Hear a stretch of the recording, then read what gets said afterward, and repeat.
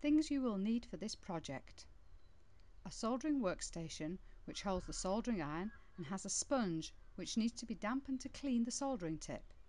The soldering iron once heated reaches temperatures of 400 degrees centigrade, therefore is very hot and dangerous. You will need wire cutters. You will need wire strippers and lead-free solder, which is often supplied on a reel. Electronic soft solder is made up from an alloy of tin, silver and copper. Electronic solder contains its own flux, a cleaning chemical, in the centre of the solder. You will work with small lengths of solder.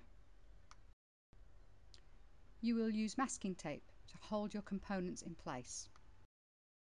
Plug in the soldering iron and set it to 15 volts.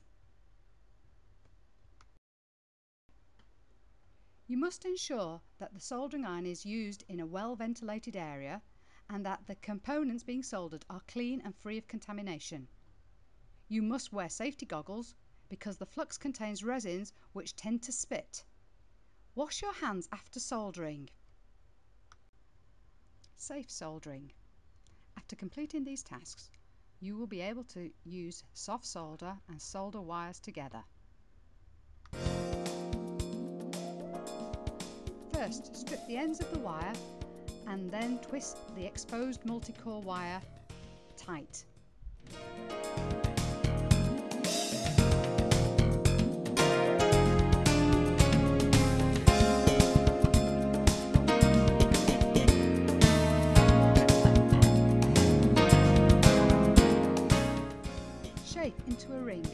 Place on the work surface, holding it in place with short strips of masking tape.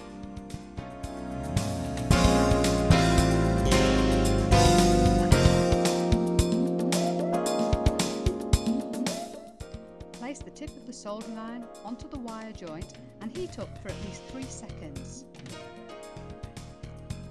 Take the solder and place on the joint whilst continuing to heat it up with the soldering iron.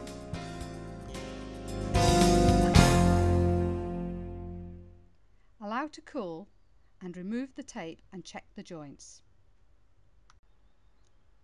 You will complete the soldering exercise sheet to practice your soldering.